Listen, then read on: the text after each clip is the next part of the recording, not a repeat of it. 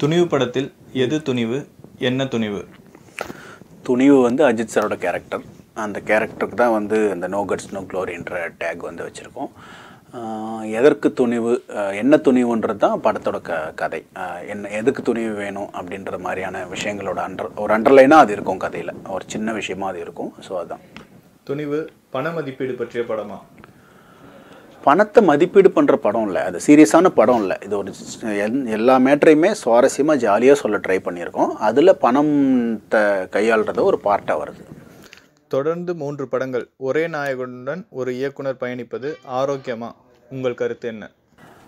இல்லைவா அது ஆரோக்கியமாக இல்லையான்றதை பற்றி யோசிக்க தேவையில்ல. அந்த படம் வந்து அந்த டீமில் வேலை செய்கிறவங்களுக்கு கம்ஃபர்ட்டாக இருக்கா? அவங்க நல்ல விஷயங்கள் செய்கிறாங்களா அப்படின்னா இப்போ நானும் அஜித் சார் வந்து நேர்கொண்ட பார்வை படம் பண்ணோம்.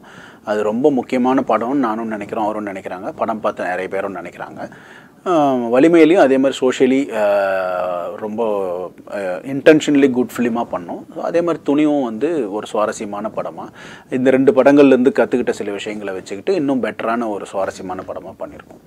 நீங்கள் உங்கள் கதையை படமாக்கும் முன் யாருடனாவது விவாதிப்பது உண்டா? குறிப்பாக அந்த துறை சார்ந்த வல்லுநர்களுடன் விவாதங்கள் நடத்தியதுண்டா இதுக்கு முன்னாடி என்னோட ப்ராசஸ் வந்து நான் ஸ்கிரிப்ட் எழுதுவேன். அதை ஃப்ரெண்ட்ஸ் படிப்பாங்க. அவங்களோட கருத்துக்கள் சொல்லுவாங்க. அதுக்கப்புறம் அப்படியே அது படமாக மாறும்.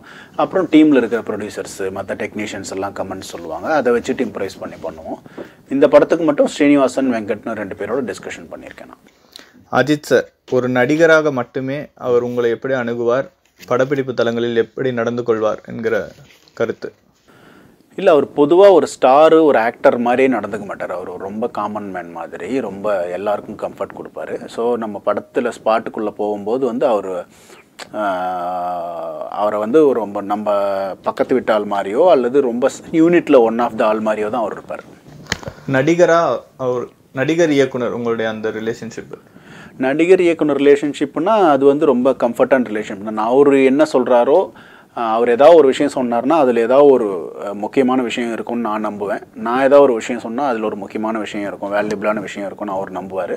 ஸோ மியூச்சுவல் டிஸ்கஷன்ஸ் வந்து ரொம்ப ஆரோக்கியமாக ஹெல்த்தியாக இருக்கும். அதுவும் மோஸ்ட் ஆஃப் த டைம் வந்து படத்தை பற்றினதாக இருக்கும். சினிமாவில் அரசியல் அரசியலில் சினிமா. உங்கள் ஒப்பீனியன் என்ன?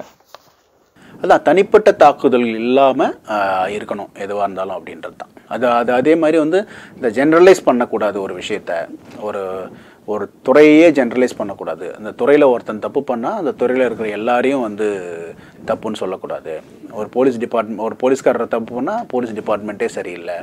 பொலிட்டிஷியன் தப்புன்னா பாலிட்டிக்ஸே பாலிடிக்ஸே சரியில்லைன்னு சொல்லும்போது அந்த துறைக்கு வர வேண்டிய ஆட்களும் அதை இன்ஸ்பயர் ஆகி வரணும்ல. ஒரு பொல் பாலிடிக்ஸே சரியில்லை சாக்கடை சாக்கடைன்னு சொல்லிட்டு இருந்தால் அதுக்கு எவனுமே வரமாட்டான்ல. அது மாதிரி அவ்வளோ அது இன்னும் சாக்கடையாக தான் மாறிட்டு இருக்கும்ல.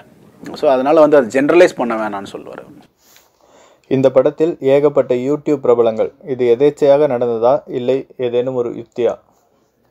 யுக்தியா இல்லை. இப்போ நமக்கு ரொம்ப ஷார்ட் டைமில் வரும்போது அவங்க வந்து ரெஜிஸ்டர் ஆகணும்ல. அதனால் வந்து ஃபெமிலியர் ஃபேஸாக இருந்தால் பெட்டர்னு நினச்சி காசு பண்ணோம் சமூக பிரச்சனை சார்ந்த படங்களை தொடர்ந்து இயக்குவதன் மூலம் உங்கள் கண்ணோட்டம் புரிகிறது. இது அடுத்தடுத்த படங்களில் இன்னமும் தீவிரமாகுமா? தீவிரமாகுமா இல்லையான்றது வந்து எனக்கு கிடைக்கிற ஸ்பேஸை பொறுத்து தான் நான் எப்படி என்ன என்கிட்ட வர படங்கள் ப்ராஜெக்ட்ஸ் வந்து எப்படி வருதுன்றதை பொறுத்து தான் அது தெரியும். பேன் இண்டியன் ஃபிலிம் அப்படிங்கிற அந்த இது உண்மையா? பேன் இண்டியன் ஃபிலிம் அதான் சில படங்கள் இந்தியா முழுக்க வெளியிடணும்னு திட்டமிட்டு எடுக்கப்படுது. சில படங்கள் வெளியான பிறகு அது பேன் இண்டியன் படமாக மாறுது. ஸோ அது வந்து ப்ராஜெக்டோட சைஸை பொறுத்து பேசுகிறாங்கன்னு நினைக்கிறேன். ப்ராஜெக்டோட சைஸும் கண்டென்ட்டும் பொறுத்து.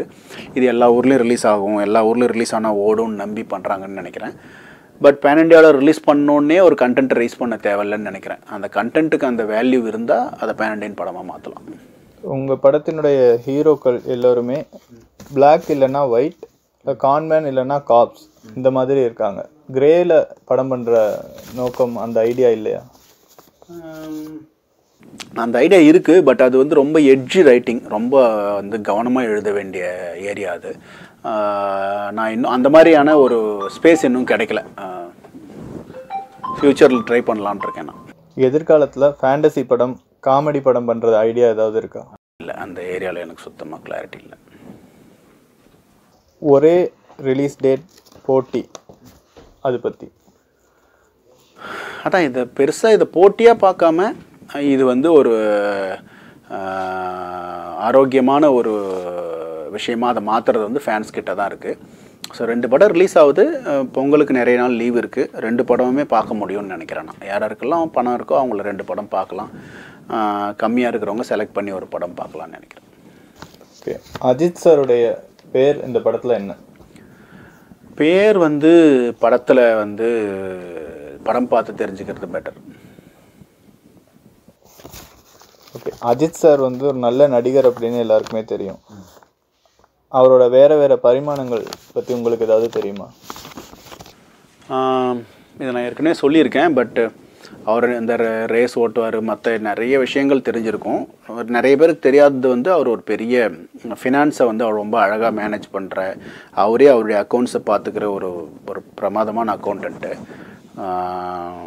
அவர் எல் நிறைய பேருக்கு அட்வைஸ் பண்ணுறது என்னென்னா அந்த ஃபினான்ஸை கரெக்டாக வந்து ஹேண்டில் பண்ணுங்கள் நீங்கள் ஒரு டேக்ஸ் பேயராக இருந்தீங்கன்னா உங்களுக்கு வர பணம் நீங்கள் ஒரு பணம் சம்பாதிக்கிறீங்கன்னா அதை வந்து அந்த டேக்ஸை தனியாக எடுத்து ஒரு அக்கௌண்ட்டில் போட்டுருங்க. அது உங்களுது இல்லை அப்படின்னு நினச்சி போட்டுருங்க. அப்போ தான் நீங்கள் டேக்ஸ் கட்டும்போது உங்களுக்கு எந்த விதமான வருத்தமும் இருக்காது. அதை ஏமாற்றலாமா ஏதாவது தப்பு கணக்கு காட்டலாமான்ற எந்த யோசனையும் உங்களுக்கு வராது. அப்புறம் அந்த பண் மீதி இருக்கிற பணத்தில் ஒரு டென் பர்சன்ட் எடுத்து சேரிட்டிக்குன்னு வச்சுருங்க. கண்டிப்பாக உங்ககிட்ட பணம் இருக்கும்போது நீங்கள் வசதியாக இருக்கும்போது ஒரு நாலு பேருக்கு ஹெல்ப் பண்ணலாம். ஹெல்ப்பும் கேட்டு வருவாங்க. ஸோ அவங்களுக்கு பண்ணுறதுக்கு ரைட் பர்சன்ஸ்க்கு ஹெல்ப் பண்ணுறதுக்கு அந்த பணத்தை எடுத்து வைங்க. மீதி பணம் தான் உங்களுது. அதை வச்சு தான் நீங்கள் உங்களுடைய இன்வெஸ்ட்மெண்ட்ஸு உங்களுடைய டே டு டே எக்ஸ்பென்சஸ்ஸு மற்றது எல்லாத்தையும் பிளான் பண்ணணும். அப்படி பண்ணிங்கன்னா உங்களுக்கு எந்த குழப்பமும் இருக்காது. நம்ம ரொம்ப லாங் ஸ்டெப் வச்சு மாட்டிக்கவும் மாட்டோம். அதை ஹேண்டில் பண்ண தெரியாமல் முழிக்கவும் மாட்டோம் அப்படின்னு எல்லாருக்குமே அதை அட்வைஸ் பண்ணுவோம். ஏற்கனவே இப்போ மூன்று படங்கள் அவரோட பண்ணிட்டீங்க. எதிர்காலத்தில் அவரோட மீண்டும் இணையறதுக்கு வாய்ப்பு இருக்கா? அதை பற்றி ஏதாவது டிஸ்கஸ் பண்ணியிருக்கீங்களா அது அஜித் சார் கூப்பிட்டு படம் பண்ண சொன்னால் யாராலையுமே மறக்க முடியாதுல்ல. ஸோ கண்டிப்பாக பண்ணுவேன். இல்லை அதை பற்றி டிஸ்கஸ் பண்ணியிருக்கீங்க இல்லை அதை பற்றி டிஸ்கஸ் பண்ணல. சாருக்கு அடுத்தடுத்த லைனப்ஸ் இருக்குது அதை பற்றி எதுவும் டிஸ்கஸ் பண்ணல. அஜித் சார் அவருடைய ரசிகர்கள் பற்றி உங்ககிட்ட ஏதாவது சொல்லியிருக்காரா? ரசிகர்கள் பற்றி என்னென்னா எப்போவுமே இந்த மாதிரி ஒரு ஏதாவது ஒரு இன்சிடென்ட்ஸ் வைரல் இன்சிடென்ட்ஸ் வந்துடும்ல ரசிகர்கள் பண்ணுறது அது சம்மந்தமாக ஸ்பாட்டில் ஏதாவது யாராவது சொல்லுவாங்க பேசுவாங்கன்னும் போது அவருக்கு அதான் அந்த மாதிரி பண்ணுறது எல்லாமே ஓகே ஜாலிக்காக எப்போ எப்போ பண்ணிக்கலாம். அது ஒரு ரெஃப்ரெஷ்னிங்காக இருக்கிற வரைக்கும் ஓகே அதே வேலையாக இருக்கக்கூடாது. அதே வேலையாக நிறைய டைமை வேஸ்ட் பண்ணக்கூடாதுன்னு நினைக்கிற ஒரு ஆள் அவர். படம் ரிலீஸ் ஆகும்போது அந்த படத்தை போய் பார்க்குறது கொண்டாடுறது உங்களுக்கு அதுலேருந்து உங்களுக்கு உங்களை இன்ஸ்பயர் பண்ண ஒரு ஹீரோ உங்களை வந்து ரொம்ப கனெக்டான ஒரு ஹீரோ படத்தை வந்து நீங்கள் கொண்டாடுறதுல ஒன்றும் தப்பு இல்லை அதன் வழியாக உங்களுக்கு ஒரு சந்தோஷம் கிடைக்குது. மற்ற விஷயங்கள் வேறு ஏதோ கிடைக்குது அப்படின்னாலும் ஓகே. பட் அதையே வேலையாக வச்சுருக்கக்கூடாது அதை வச்சுக்கிட்டு வேறு யாரையாவது வந்து திட்டக்கூடாது. அதனால் உங்கள் சினிமா வந்து பார்ட் ஆஃப் த லைஃப் அதுவே லைஃப் கிடையாது. ஸோ உங்கள் லைஃப்பை பாருங்கள் உங்கள் ஃபேமிலியை பாருங்கன்றது தான் அவருடைய ஐடியா வரும் அஜித் சாரோட பேங்க்ல வர்ற நடனமெல்லாம் வந்து பெரிய ஹையாக இருக்கும்னு நீங்கள் சொல்லியிருக்கீங்க. அந்த ஐடியா எப்படி உருவானுச்சு இப்போ அது part part of the writing இல்லை. ஸோ அந்த இடத்துல அப்படி ஒன்று தேவைப்பட்டுச்சு. அதனால் அப்படி எழுதியிருக்கோம். ஃபேன்ஸு ஃபேமிலிஸ்னு எதுவும் பிரிக்க தேவையில்லை. எல்லாருக்கும் ஓவராலாக ஹோல்சம்மாக ஒரு என்டர்டெயினாக இருக்கும் ஜாலியாக இருக்கும். ஒரு இன்டென்ஸான ஜா இன்டென்ஸான விஷயம் கூட ஜாலியாக சொல்ல ட்ரை பண்ணியிருக்கோம்.